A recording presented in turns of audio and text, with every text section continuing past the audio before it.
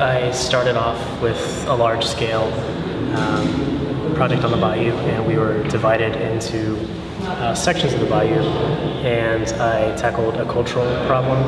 And so I wanted to create uh, an object or something that could be uh, a resource for the bayou for people to come in and um, experience. So then I started experimenting with inflatable design.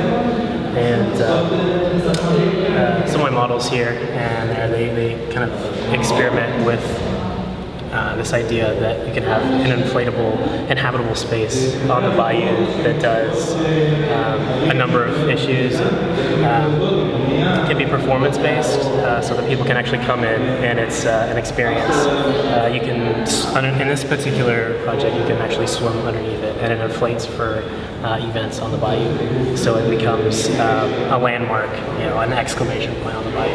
Yeah, well, I mean, just the opportunity to be here to uh, to see all the different kind of work really has inspired me so far already. I've only seen two buildings, and really just seeing the work around me, um, being able to be a participant in the work, not only just uh, an observer, is really important. You kind of see how you stack up in professional work, not just student design.